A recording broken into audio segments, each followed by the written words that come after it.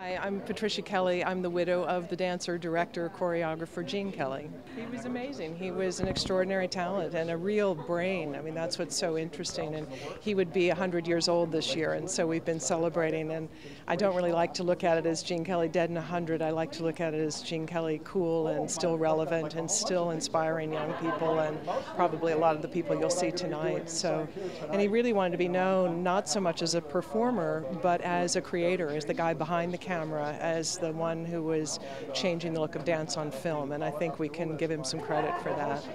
I have a lot of favorites. I think that uh, some of them are so innovative, the things that really broke new ground, like alter ego number in Cover Girl, and that was the first time you ever saw dollying and panning and double exposure. The newspaper dance and summer stock, I think, is wonderful. And I, how do you top the roller skating number? And it's always fair weather. It's so charming when he sings and that that smile and those twinkling eyes and. But and Jerry the Mouse, uh, I got rhythm with the kids. I mean, I think living in a big way. I mean, the construction side and living in a big way. That was actually Martha Graham's favorite number of all of his. So it's hard to choose. I, but I, I do like, and I like Three Musketeers. That was often what he would say was his favorite. So.